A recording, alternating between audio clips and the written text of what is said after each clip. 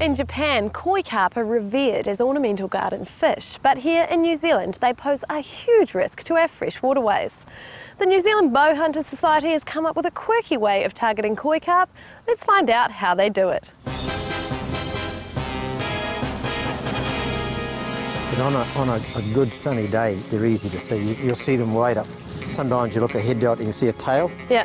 Just going like that, or the, or the backbone. Like a bit of a, like a whale. Yeah, yeah.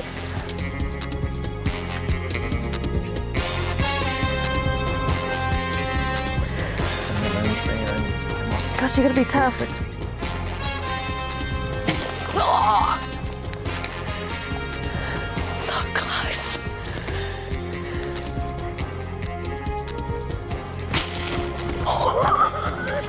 Thanks for that.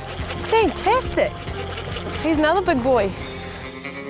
But why are koi carp such a problem in our waterways? They're called the scourge of the waterways. They just get into the water, they siphon everything through their gills and just make a mess.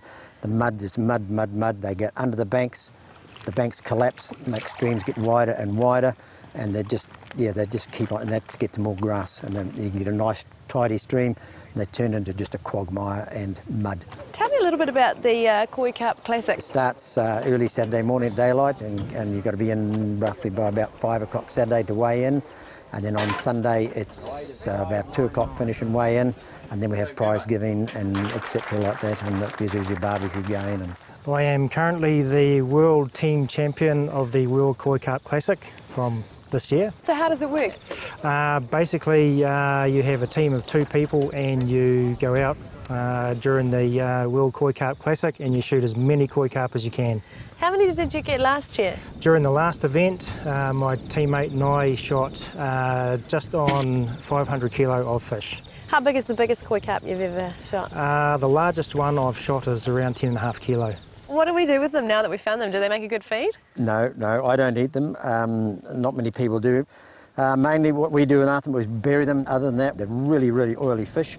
Good snapper bait uh, at times, not all the time. But we use them for burley on the Koi Carp Classic. We have a big mulching machine behind a tractor, mulching through, and everybody's welcome to come in and take it. It's for free, or slight donation to Rotary or something like that.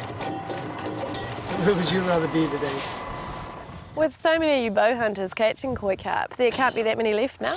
There's, there's millions, millions left. You'll, you'll never, ever get rid of them. You'll never get rid of them. They're here for life, I feel, unless they can eat themselves out of, um, out of food. But um, they can breed three times in a season, and they go up to a million eggs at a time.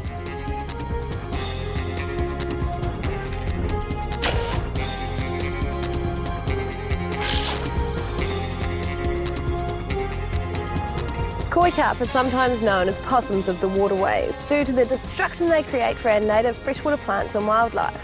Thanks to Bill and his bow hunters, we've learnt more about the problems koi carp can cause and we've knocked over a few along the way.